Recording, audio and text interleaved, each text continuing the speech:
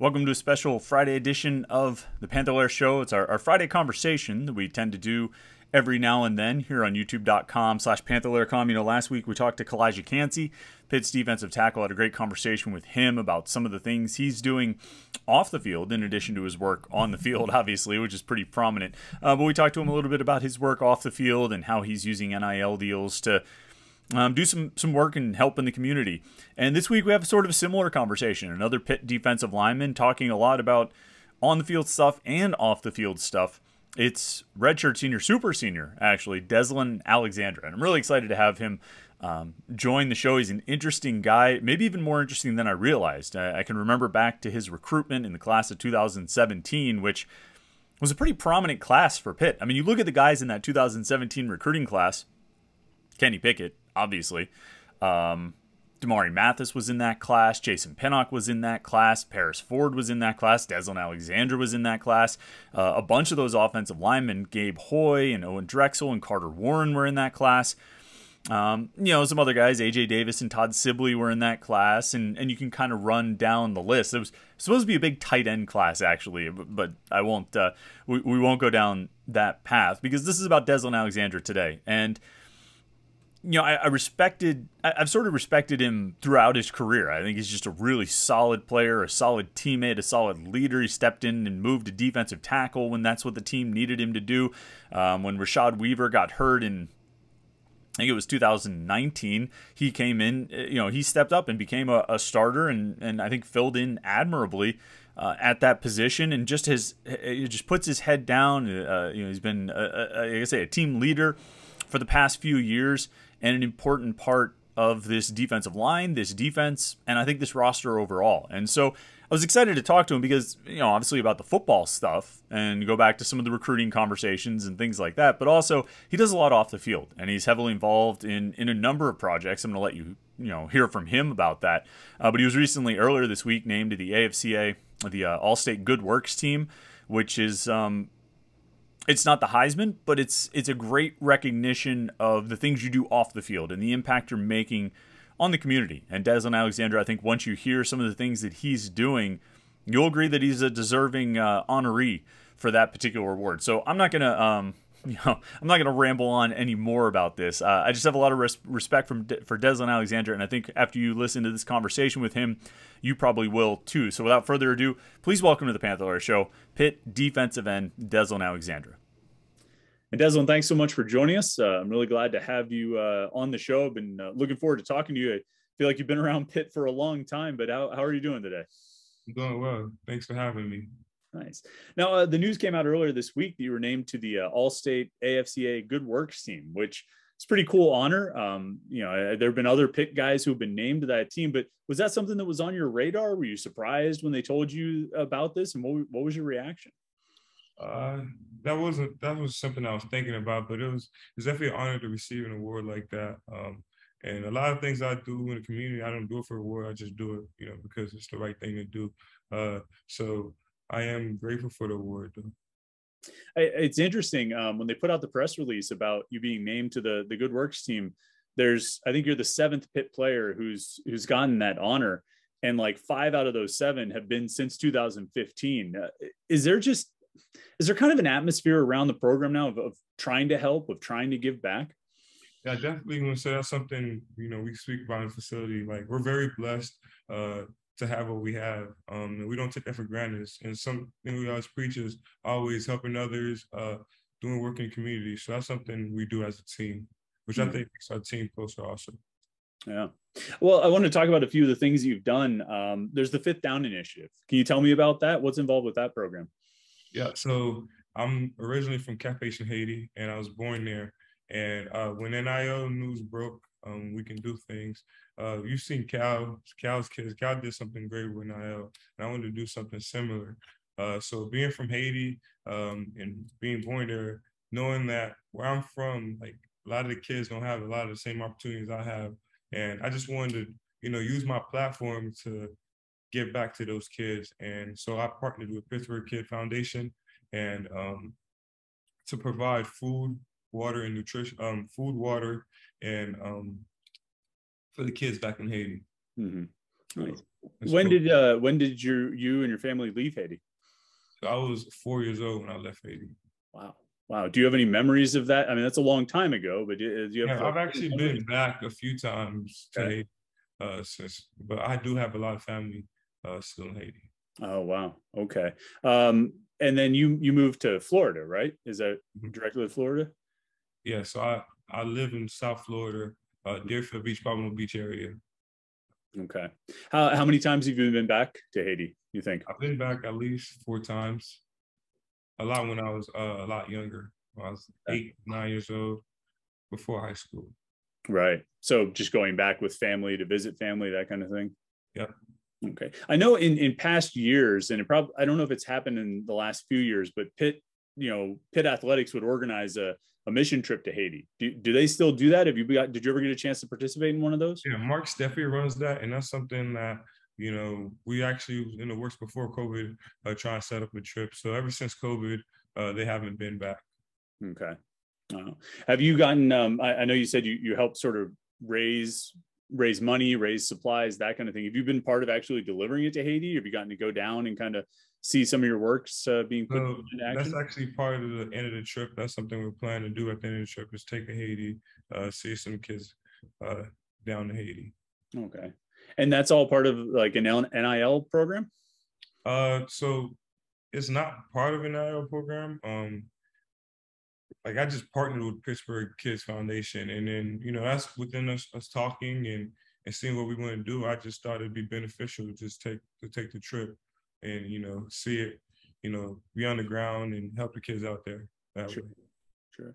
Uh, I know I, I, believe you work with Alliance Four One Two. Were they instrumental in kind of helping organize this and, and facilitate it?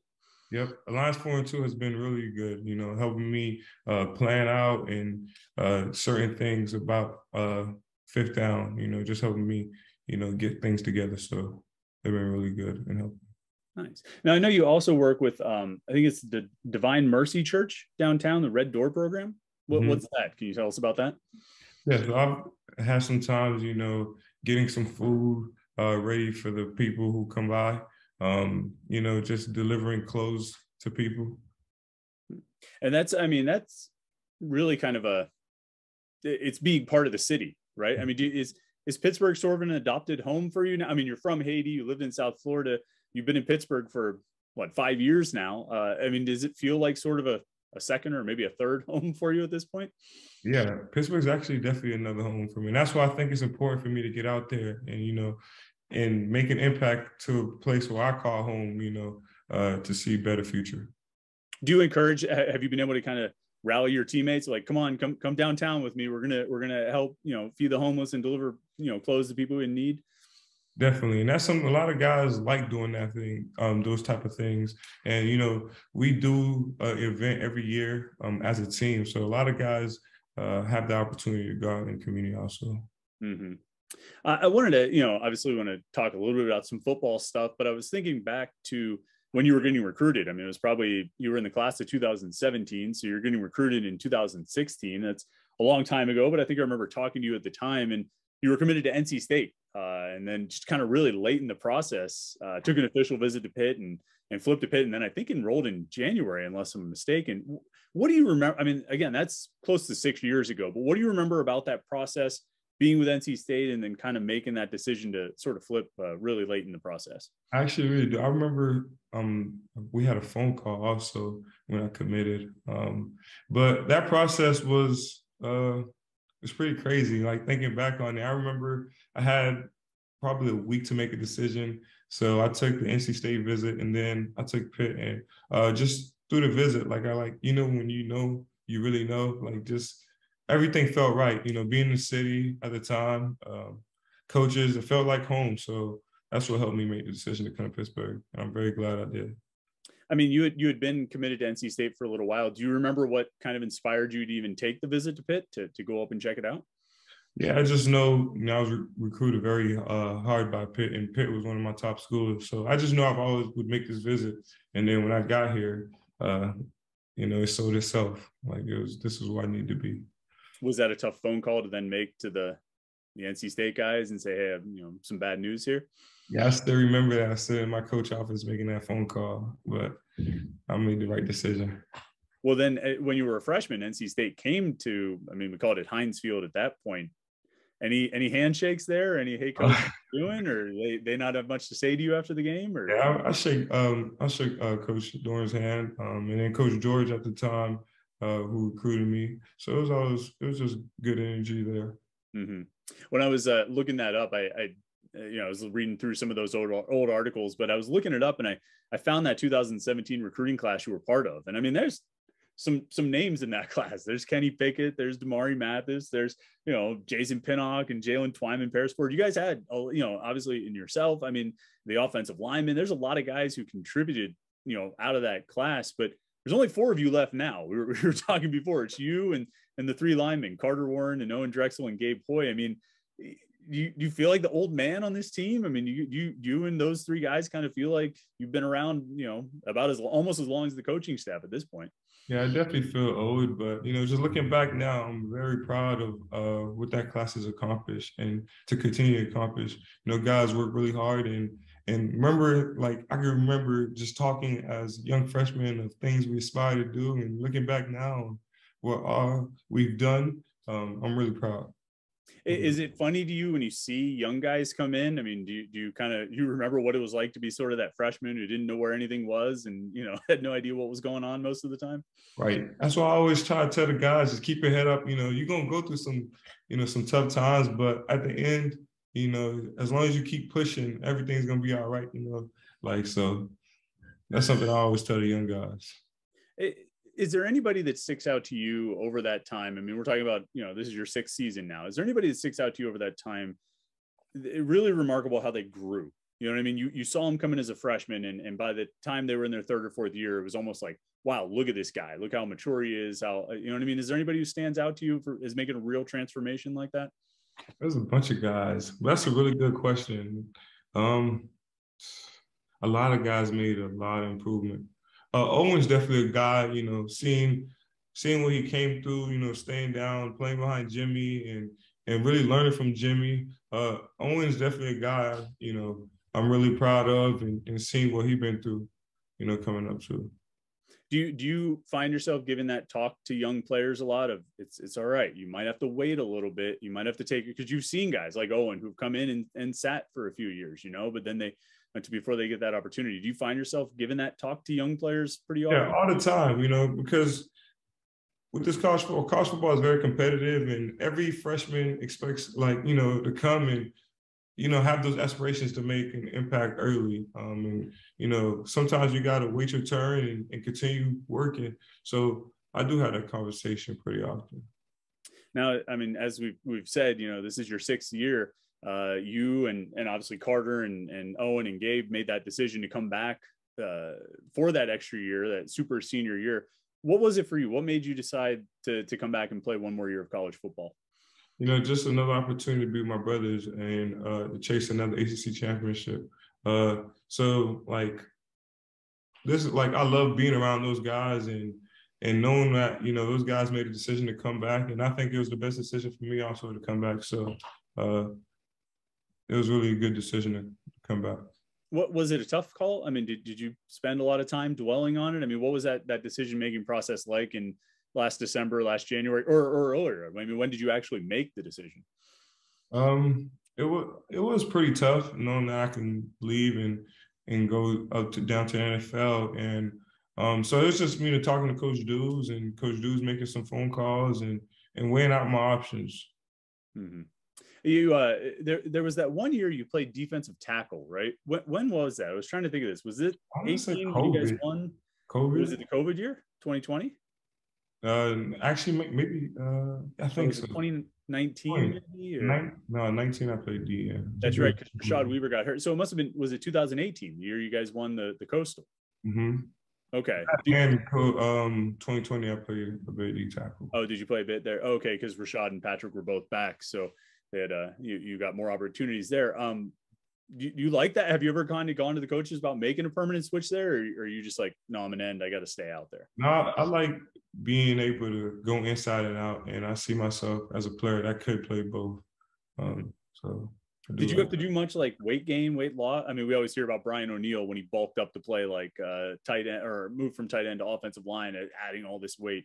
Did you have to mm-hmm. do much? I mean, it seemed like you more or less kept the same size uh, between both. I kept the same size, and like just being able to know the fundamentals of the tackle was easy to bump in and out, you know, in between plays, games. So I didn't have to gain much weight.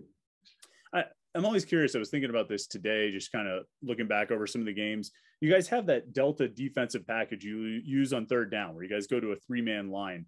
Uh, how does that? I mean, not just the particulars of the Delta, but going from being an, an end uh, on a four man line to being an end on a three man line. How how different are those two? How drastic of a change is that? Uh, it's definitely a, a change, but like knowing that it's past and the O linemen are going backwards alone. Like, you know, it's not like knowing that you get the tee off and, and go make a play.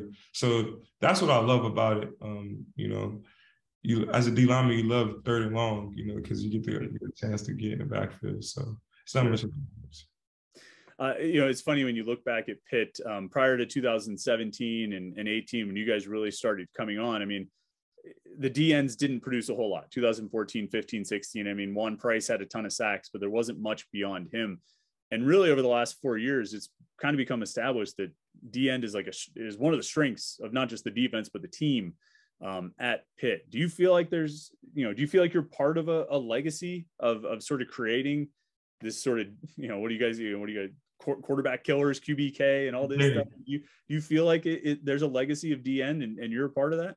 Oh, definitely. Um, I remember Coach Partridge first guy because me and Coach Partridge got around at the same time. Just seeing Coach Partridge help build, build this culture and like he has a high standard and things that he preaches and like what like the standards we have to meet every day. So um, it was great just seeing that. I never was able to um, get coached by Coach Sims, but just seeing what our line, our room has become, you know, um, year after year, and, and the improvement we've made has been great. It's, true, it's truly been tremendous. So, is it, is it really a case where like the standard just kind of keeps going up? Like you know, yes. Shad and Patrick are all Americans, and then it just keeps going up from there. Definitely. Mm-hmm. I, I'd forgotten that that Coach Partridge was hired right then in that like January of 17. I mean, what do you remember about your first impressions of him and kind of finding out, oh, I'm gonna have this new D line coach? Yeah, I remember uh, when Coach Duzz told me, I was kind of bummed, but Coach Duzz probably he's like, I'm gonna get a guy that's even better, and he sure did. So I'm really uh, happy about that. I feel like that's always his line. He's like, yeah, yeah, we had to change this coach, but we're gonna find somebody better, and he seems to do a pretty decent job at it, I guess. Definitely um, does. I'm curious about this game last Saturday night, this Western Michigan game. I know you didn't play, but obviously you played last year. How much was there? I don't know if you want to call it revenge, but I mean, how satisfying was it to kind of get a win after the way it went last year? I know you guys uh, took it pretty hard when you lost to Western Michigan last year, particularly for the defense. How how satisfying was it to get that win and on Saturday night and really just control the game? I mean, the defense was was pretty much in control from the start. Uh, that's something you know we took personal from last year. Um, that's something that we know uh, what our standard is as a defense, as a team, and um, so it was it was real good to just go out there and, and do what we're supposed to do and get a win. And now you guys uh, coming out of the non-conference here, you know, starting next week when you have Georgia Tech at home. I mean, uh, you know, and then it's just eight straight games of ACC play. Uh, you know, seems like the conference is wide open once again. I mean, how excited are you to dive into conference play? And uh, you know, how, you feel pretty good about uh, Pitt's chances in the the Coastal and the ACC once again. Oh, definitely. Um, we're excited for it. Uh, we love ACC games. You know, uh, like the ACC games, like you know, because what what it means, we get a chance to every game, every week, uh, to go one and zero oh, uh, to get in the championship again. So that's what we're chasing. All right, and then the last thing for you, Deslin, uh, I, I, know you you already graduated. I think you're in the, the business school now, right? Um, so you know, I the the objective is the NFL. The goal is the NFL. Um, you know, whether that happens or not, kind of what's next for you whenever football ends, whether it's five years from now, 10 years from now, 15, whenever? What What's sort of your, your long term uh, goals here? A long term, I definitely want to get in the business uh, world, um, whether that's corporate. Um, I'm not sure yet. Um, so something I'm still thinking about, but I definitely have a love for real estate. Um, so uh, definitely purchasing um, and selling real estate, anything to really do with real estate. Um, so that's something I'm very interested in. Would you stay in Pittsburgh, or do you think uh, once once you're done, you'll you'll find a new home, find a fourth home or a fifth home or whatever number you'd be on at that point? Wherever I play next, and then continue to. Say, I like moving around. Um, I tell you what, coming to Pittsburgh, um, like I didn't know much about it at first. I was kind of iffy about it. You know, being here, um, like I truly uh, have a love for Pittsburgh now, and this will always be a home. So I'm excited for what the future uh, brings. Nice, nice. All right, Desmond. Well, thanks so much for your time, man. We really appreciate it. Uh, you know, looking forward to seeing you back on the field soon, and good luck uh, the rest of the season. Thank you so much. Thanks to Desmond Alexander for joining us on the show today. I, I thought it was. I mean, I think there was a lot in there. You know, we talked for quite a while there, and and from the NIL stuff and the off-field stuff and the community stuff that he's doing with the the um, Divine Mercy Church downtown, and really his Fifth Down initiative and, and working with Haiti. I didn't know his backstory about being from Haiti and moving from Haiti when he was four. Um, you know, obviously I knew he was lived in South Florida and moved to Pittsburgh, but Pittsburgh has become, I guess, a third home for Deslin Alexandre, and we'll see where his future path takes him. But I mean, I, I think it's hard to. Uh, it's hard to root against a guy like that. I mean, when you when you listen to not just I mean the things that he's doing off the field and then sort of his approach to his team. I mean, I feel like when I asked him, you know, do you do you find yourself sharing stories, you know, talking to the younger guys and helping the younger guys understand they might have to wait their turn. And I feel like there was an enthusiasm. It wasn't just, yeah, yeah, you know, I'll talk to some guys here or there. He was he was enthusiastic about it. He said, yeah, I, I do, and, and it seemed like he really embraces that role. And and he's not the loudest guy on the team. You know, he's not the most flashy guy on the team. Um, he's probably one that a lot of fans don't really talk about all that much. I mean, you talk about Haba Baldonado or you know some of what John Morgan has done. Uh, you know, he, he's definitely um, you know uh, he likes to talk a lot off the field, and I think he's been backing it up with his play on the field this year. We talk about Dayon Hayes because he's a young guy and he's he's local and and you know we kind of have that connection there. Four star prospect from from the city, but Deslin just goes out and works, you know, and and has made himself. Um, I think a key piece of this team and a key component to this team. And he's missed the last couple of games after getting hurt at the end of the West Virginia game. Um, I think he'll be back soon. Uh, you know, either Rhode Island or I would say almost certainly Georgia Tech and and Pitt will be better for having him on the field. I think they were better for having him on the sidelines. You know, at the Western Michigan game when he traveled with the team but did not play. I think he just he's he's important to the team in that way, and I think the the you know kind of the uh, example he sets for the younger players, both in how he conducts himself within the team and on the field, but also what he does off the field. I, I think that's the kind of thing that you can you can set that example, and the younger players pick up on it and then when they reach that level that he's at, they set the example for the guys below him. It's that linkage that that really forms the culture of a program. And I think the culture of Pitt's program is really formed by guys like Deslin Alexandre, who just just go to work, do the best that they can, and and and try to carry that on to the things they do off the field. Which you know you heard me say. I mean, Pitt has had seven guys named to the All State Good Works team. Um, I feel like going back to like 1992 or something like that, uh, you know, or, or, somewhere around that. I mean, it's it, it stretches back a little ways, but five of them have been in the last like seven years since 2015 and i think that's part of the culture at pitt. I think that's part of the environment and the atmosphere is one of giving back. And you heard it from Calijah Kancey last week and you heard it from Deslin Alexandre this week. So hopefully uh, you found that as interesting as I did. Hopefully you enjoyed that conversation as much as I did. Um, I know I like talking to Deslin. That was uh, I thought that was a good convo.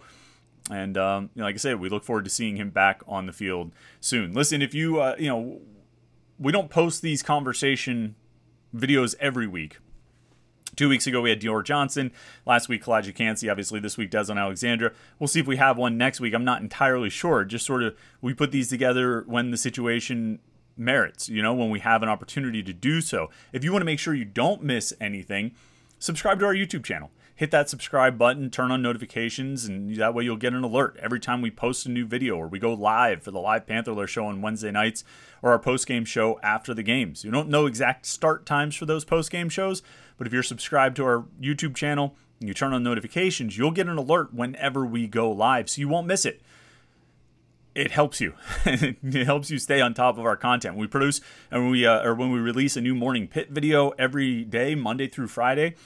You know, it's usually out by about 7, but if you want to make sure you know when it's out, you want to get a reminder, subscribe to our YouTube channel, youtube.com slash pantherlaircom. Hit that like button on this video, smash the like button, as the kids are wont to say, and then, of course, check out pantherlair.com, panther-lair.com, pittsburgh.rivals.com for all the Pitt coverage that you want football, basketball, recruiting, articles, interviews, analysis, slideshows, videos, all that stuff, and conversation and discussion on the pantherlair.com message boards. Panther-lair.com, pittsburgh.rivals.com. Thanks so much for watching this video. We appreciate it. Thanks again to Deslin Alexandre for joining us.